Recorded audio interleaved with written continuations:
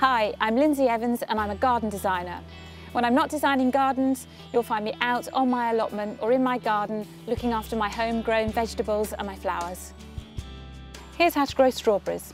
Strawberries grow well in a wide range of soils, but prefer a well-drained soil that's rich in humus. They also prefer full sun and being sheltered from the wind. Strawberries will rot when they get waterlogged, so they grow very well in raised beds where soil retains the moisture but there is no waterlogging. Plants can produce fruit for five or six years, but after the first two years yields will be much lower and a build-up of pests and diseases can occur. Strawberry beds are usually kept for two or three years before they're cleared and planted on new ground. Plants can be planted outdoors from late June until September. Prepare the soil at least one month before planting.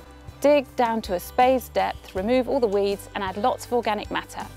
Add two handfuls of fish blood and bone per square metre. A few days before planting, apply a general purpose fertiliser such as Growmore. Strawberries are very greedy feeders. Place the strawberry plant every 35 centimetres in rows that are about 75 centimetres apart. Plant with the crown at soil level and give them a lot of water. Slugs love strawberries, so you'll need to be vigilant. Place a net over the plants to prevent birds and squirrels from eating the fruit. Pick any ripe strawberries so they don't rot on the plant. Check the plants every other day during the ripening period and harvest the fruit in dry weather. Pick the fruit gently to avoid bruising and make sure the green stalk or calyx remains attached to the fruit. Hoe regularly between the rows and individual plants from late May. Place straw in the rows under the fruit trusses to suppress weeds and prevent the fruit lying on the ground. Barley straw is best as it's softer and more pliable. If you can't get straw, use polythene sheeting. Growing strawberries in a hanging basket keeps them out of the way of slugs. Put five or six plants in each basket in spring, water every day during the growing season. From flowering until the harvest, feed the plants every 10 days with a product that's high in potassium, such as a tomato fertiliser. The same plants should continue producing fruit the following year, the crops will be better if the plants are renewed. After harvesting, remove the straw or matting that has been protecting the fruit from the ground. Compost the straw and debris or clean and store the matting for next year.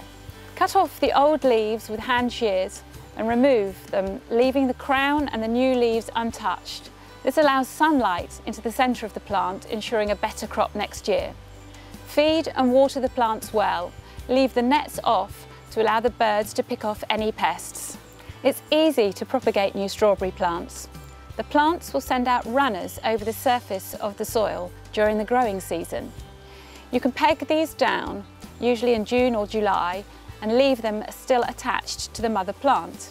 These will then root and form a separate plant.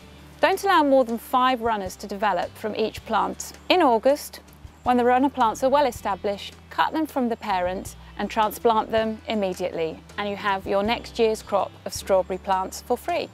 Enjoy your homegrown strawberries.